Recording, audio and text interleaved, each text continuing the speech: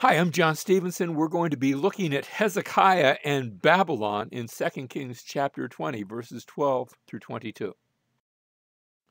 Just a summary of where we've been. We, we began back in chapter 18 that gave us a brief summary of Hezekiah's reign. And then we had that story that opened up as with the invasion of the Assyrians into Judah. So these emissaries and troops had arrived and taken over a good portion of land, had taken a number of cities. Uh, they then come to Hezekiah and to Jerusalem with a threatening message, and Hezekiah does not allow them into the city. and uh, when they threaten him, he actually he he he is afraid, but he also takes their letter before the presence of God. And Isaiah reassures him that the Assyrians will not destroy the city of Jerusalem, that God will intervene. And sure enough, he prays for deliverance, and that prayer is answered as 185,000 of the Assyrians die in one night. And uh, uh, Sennacherib, the Assyrian king, is forced to pack up and go home, and that's the end of that of that narrative, and as well as that chapter.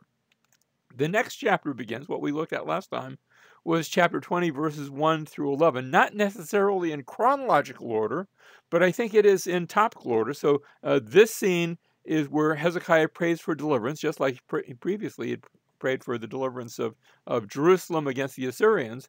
This time he prays for deliverance as it is announced to him that he's about to die.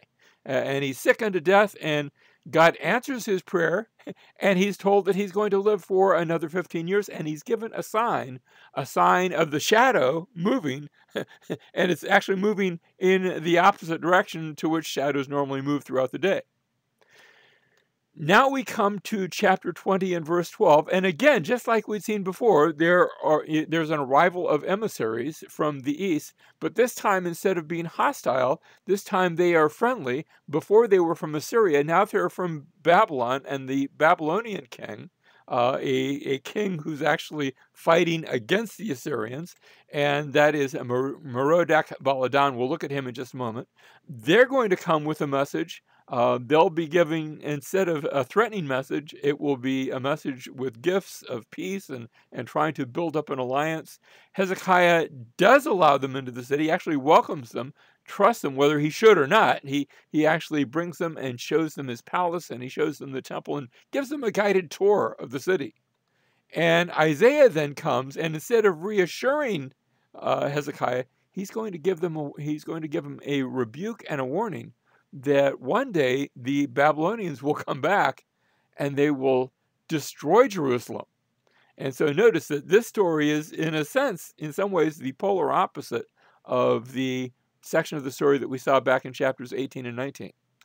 And then as we come to an end, we'll have a couple of verses at the end giving a summary of Hezekiah's reign uh, in a similar way to which the uh, that formula began back in chapter 18. So this is going to um, serve as bookends to the entire story of Hezekiah. Chapter 20 and verse 12, at that time Berodach Baladan, now uh, when we see that name, uh, Berodach Baladan, some manuscripts render this Merodach Baladan. Notice the, the, the, only difference is that opening letter, uh, whether it's a B or an M.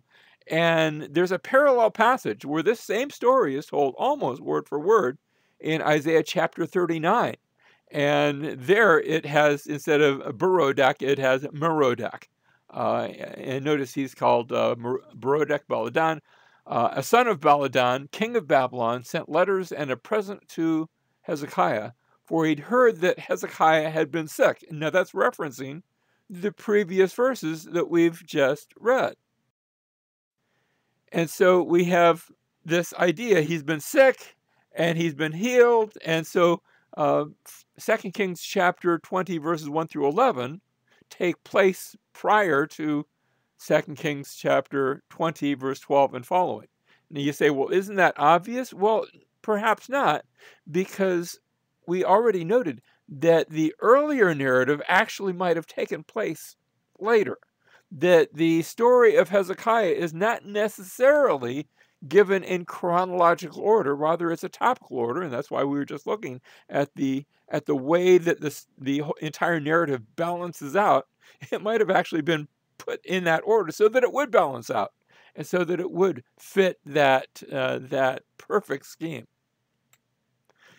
Second Chronicles chapter 32, verse 31, this is the parallel passage that talks about this visit. And notice it says, even in the matter of the envoys of the rulers of Babylon, who sent to him to inquire uh, uh, of the wonder that had happened in the land, God left him alone only to test him that he might know what was in his heart.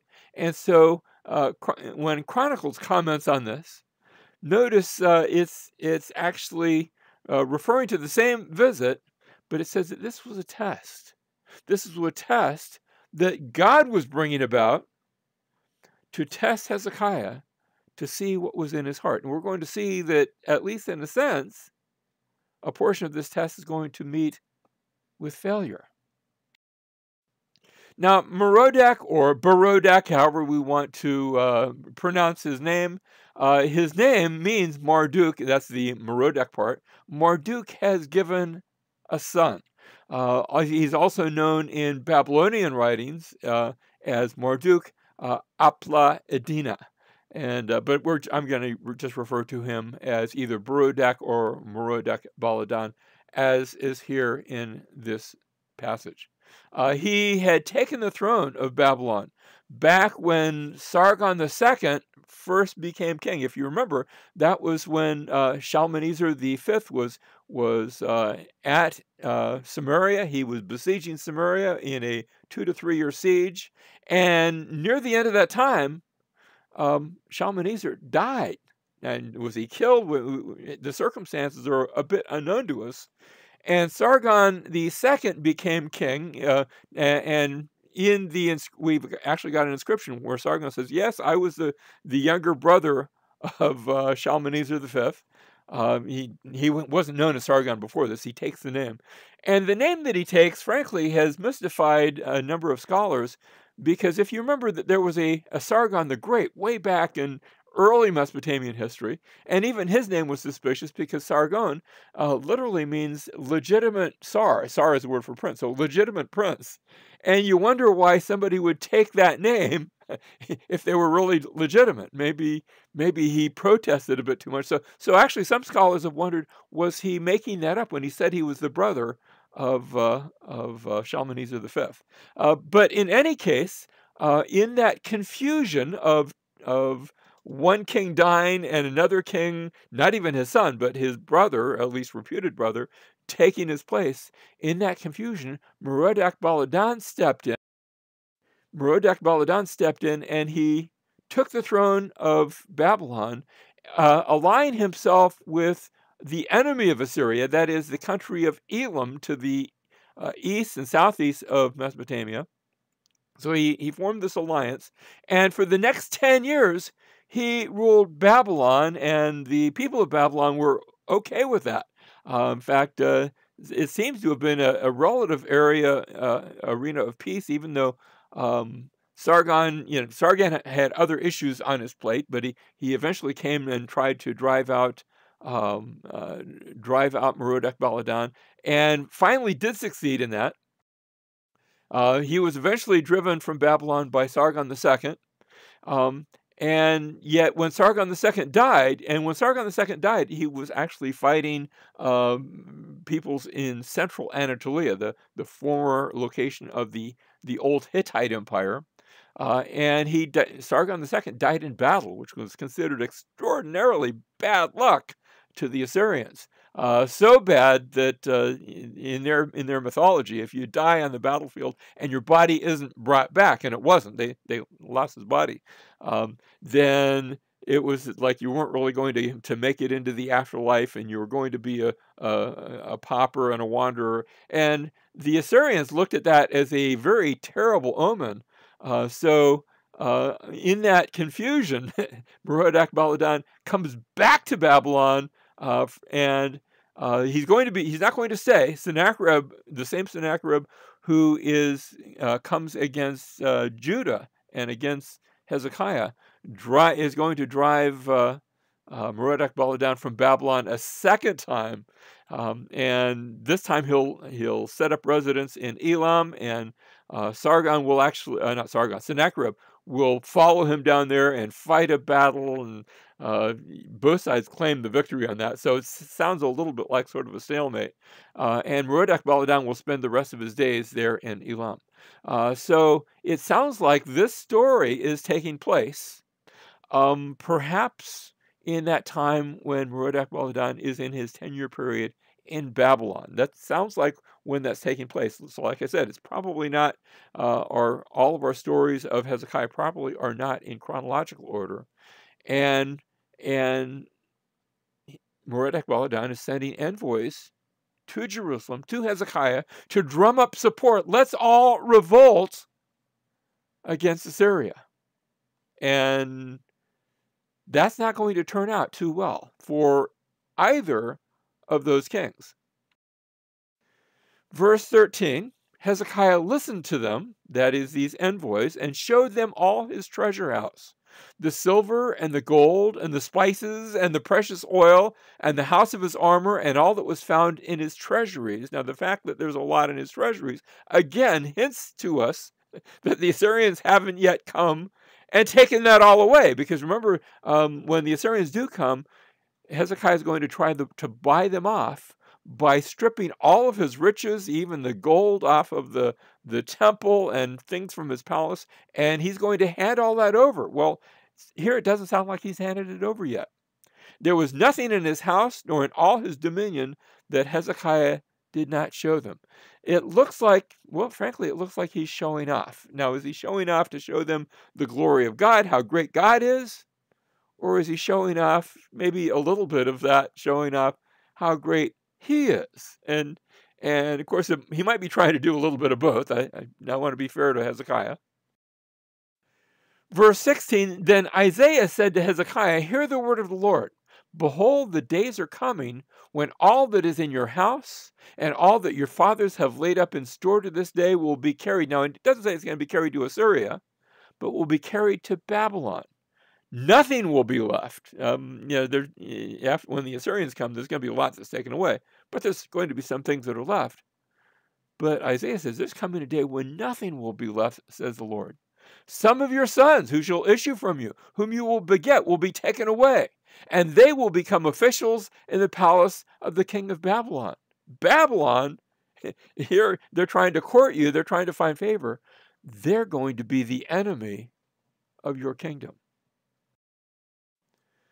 Verse 19, then Hezekiah said to Isaiah, and, and his, his response is interesting. First of all, he says, The word of the Lord, which you have spoken, is good. And you say, well, okay, well, uh, that was actually bad news, but but there apparently there's some good in there. For he thought, and here's what he's thinking: Is it not so if there will be peace and truth in my days? And, and you can take that a couple of different ways. You can take it, well, yes, there's judgment coming, but but hey, we're at peace now, so I'm not going to have to see that. But but uh, again, I want to be fair to Hezekiah, and it might be that he's saying, look, it's good that yes, some bad things are going to happen. The judgment of God is going to happen, but in the meantime, we can enjoy today. And we can give today to the Lord because today He has given us this day where we can worship Him, we can be faithful to Him, we can seek His face. And we'll see what happens tomorrow. Uh, remember that prophecies, prophecies of the future are oftentimes conditional, and uh, and so it might be that he's saying, look, uh, it might be that those that judgment, just like we saw the the the words of of Hezekiah's death, did not immediately come to pass, even though they were going to, because of his prayer, because prophecies are sometimes conditional. And so here again, is it not so if there will be peace and truth in my days? Perhaps as long as I'm faithful, that that judgment will be withheld. And indeed, that's exactly what. Now, now in verse 20, we see the rest of the acts of Hezekiah and all his might and how he made the pool and the conduit and brought water into the city. And we talked about this in an earlier class, uh, Hezekiah's tunnel. And you can go through, if you ever go to Jerusalem, you want to walk through Hezekiah's tunnel, this, this long tunnel. Uh, in the picture, it looks like it's all lit up. Actually, that's just the flash from the camera. We're standing in almost total darkness. We had a couple little, little tiny hand flashlights uh, that were just barely enough to see where we were walking. Uh, but walk through Hezekiah's tunnel, where he uh, dug this tunnel and brought water into the city, that is, into the city of Jerusalem. And notice, are these stories not all written in the book of the Chronicles of the kings of Judah? Verse 21 So Hezekiah slept with his fathers, and Manasseh his son became king in his place. Now, we saw back in chapter 20, verses 1 through 11, Hezekiah's walk by faith. Remember, where we're being given this promise that he was about to die, that Hezekiah turned to God. And in turning to God and praying to the Lord, in he received 15 more years of life. And yet here there's a walk that, at least at the beginning of it, is a walk by sight. He, you know, these envoys from Babylon come, and Hezekiah looks like he's showing off a bit. He he turns to these this pagan king, and as a result, he's warned of the future captivity. And I like to think that he repented and, and said, well, okay, well, we're going to be faithful in the interim. Uh, but at least initially, there's, there's a bit of this walk by sight. And notice when Hezekiah dies, his son Manasseh becomes king in his place. And we'll look next at the story of Manasseh, and it won't be a good story. You see, as we come to the story of Manasseh, who actually we most scholars believe that he was co-regent with Hezekiah for for those last maybe those last 15 years, for at least for a number of years. Uh, but Manasseh is going to turn in the other direction. Instead of being faithful, Manasseh is going to be the one of the worst kings that the kingdom of Judah ever sees in its entire history. He's going to start off very bad. In fact, tradition has it that he will put Isaiah to death. And yet, as bad as a beginning as he has, at the end, at the end, we're going to see at least a measure of repentance on the part of Manasseh. But we'll look at that next time.